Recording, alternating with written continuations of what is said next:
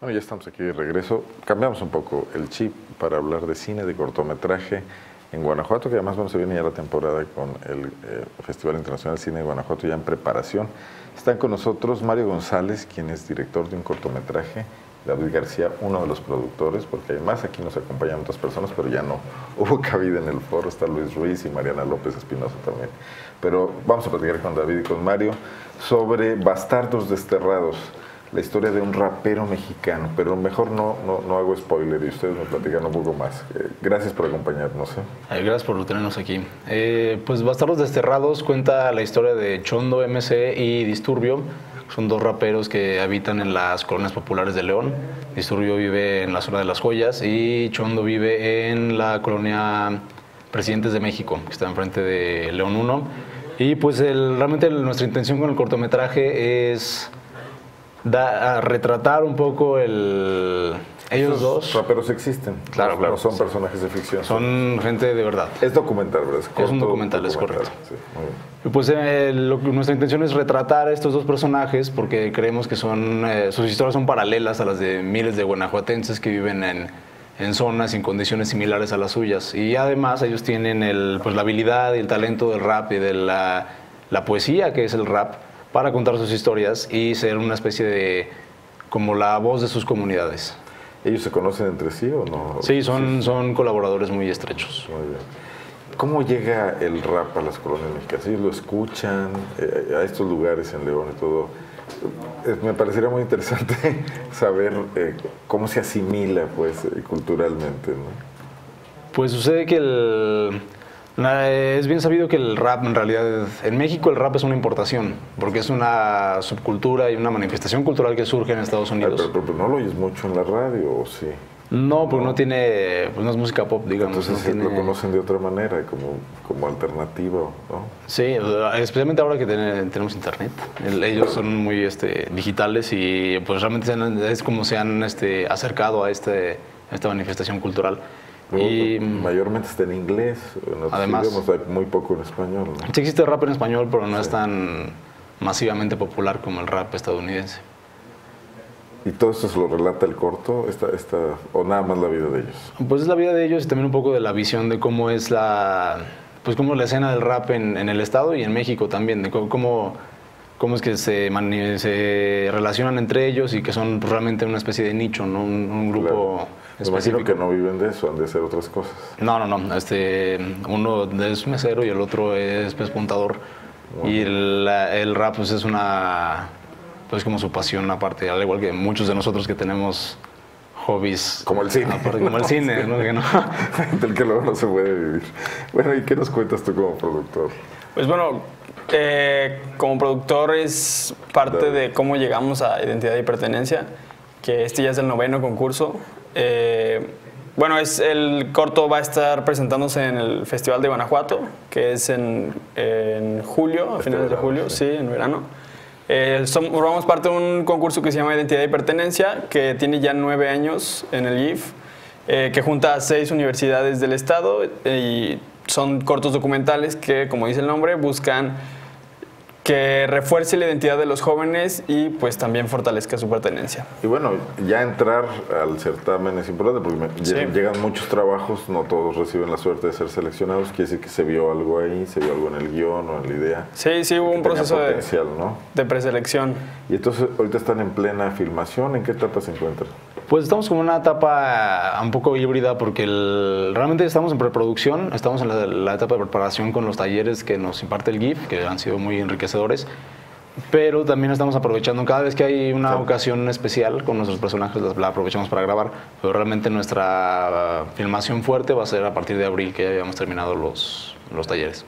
Bueno, y dijiste una cosa importante, de, de todo lo que aprendieron seguramente en la universidad, lo que están viendo ahorita en el taller del GIF es más práctico, cosas diferentes de ya cómo se hacen las cosas en el terreno de la realidad? Pues es una, un poco de las dos. O sea, es eh, pues profundizar más en la parte del oficio, en lo técnico de cómo, cómo filmar, cómo eh, hacer sonido, cómo editar. Pero quizás lo más este, profundo e importante es el acompañamiento como teórico que nos están dando de cómo darle forma al discurso cinematográfico que estamos armando.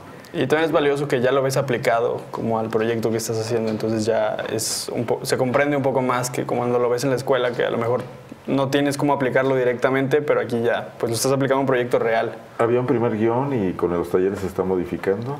¿O había una idea nada más? Pues ahí había una, una idea de los primeros dos días que grabamos con ellos para conocerlos y, y pues ver el potencial que tiene su historia.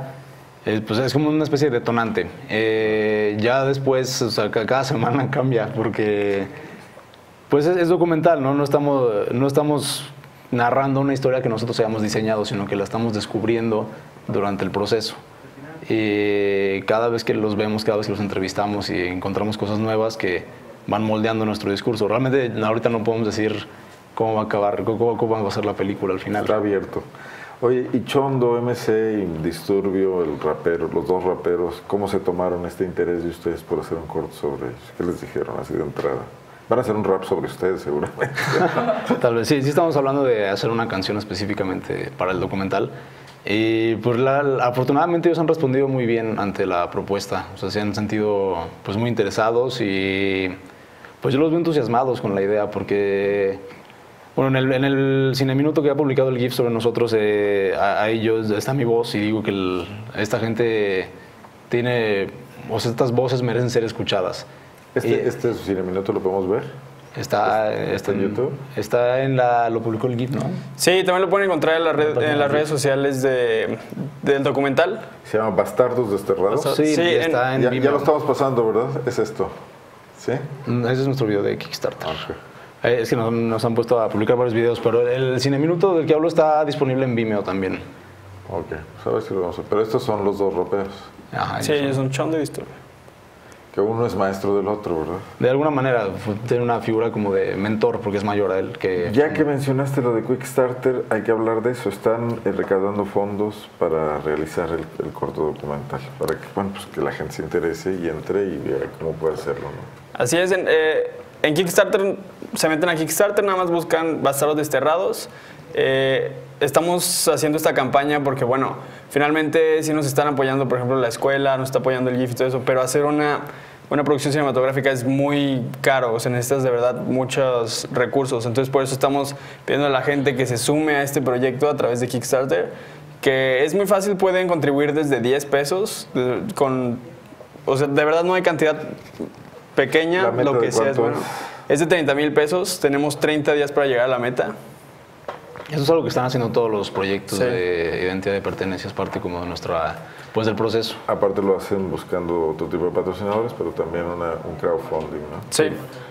Muy bien, pues bueno, hay que poner a trabajar mucho a Mariana López Espinosa, que está aquí con nosotros en Relaciones Públicas y que es también la Community Manager. ¿Sus redes sociales?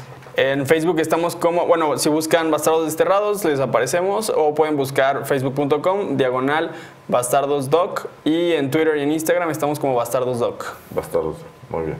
Pues mucho éxito. Muchas gracias. que además este, le vaya muy bien a esto en, el, en identidad de pertenencia. ¿Se premian los trabajos? ¿Cómo es el mecanismo? ¿Es, es una especie de concurso? Eh, es un concurso. Eh, hay primero, segundo y tercer lugar. Correcto. Pero realmente para nosotros ya el, el, participar. el participar ya es una, una gratificación muy fuerte y una oportunidad muy grande. Y además el GIF, o sea, este concurso sirve también como trampolín a otros... La posibilidad de ir a otros festivales. Sí, a otros festivales más eh, fuera del país, que también ya es como un logro muy grande.